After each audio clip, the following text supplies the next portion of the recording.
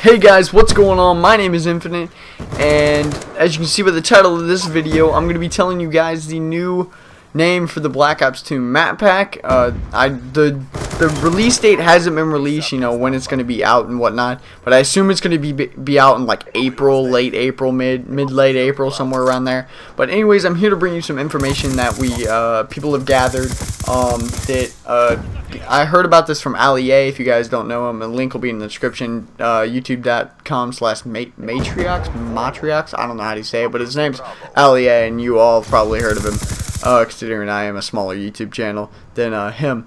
But anyways, I'm going to be talking about the new DLC. Uh, it's called Uprising. Um, the way someone found that out was when you go to the page source, uh, it showed a new button for the navigation bar that had the uh, DLC uprising-bg.jpg. So that's a picture file with the Black Ops 2 DLC Uprising on it. I assume it's going to be the same look as the Revolution thing, but, you know, just different color and probably, you know, different maps, obviously.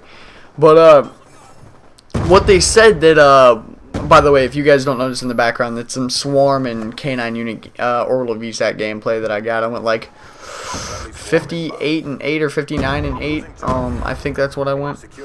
But the two maps that'll be in it are called Studio and Vertigo.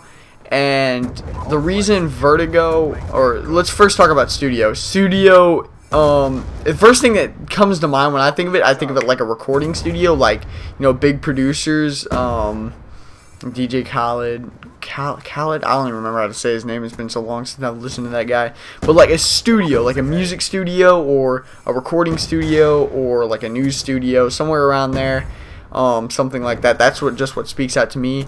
And when I think of Vertigo, I think of something huge, something tall.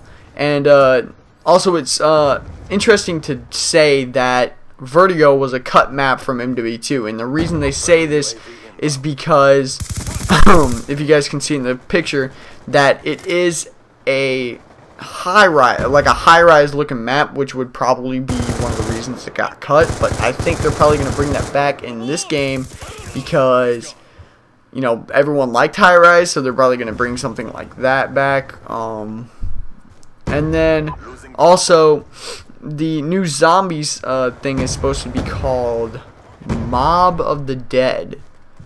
I don't. I'm, sounds sounds like it's gonna be somewhere in like a city. There's just a mob of zombies running after you so so much, and you, you know you're gonna be in a city. You don't think of mob, you think of the city, like the mafia and whatnot. That's just what comes to mind. I don't know if that's what comes to your mind, but that's what comes to my mind when I think about it. But uh, yeah, Uprising's the new DLC, and that's what it's called. Two new maps, Studio and Vertigo and then the Black Ops 2 new zombie map called Mob of the Dead.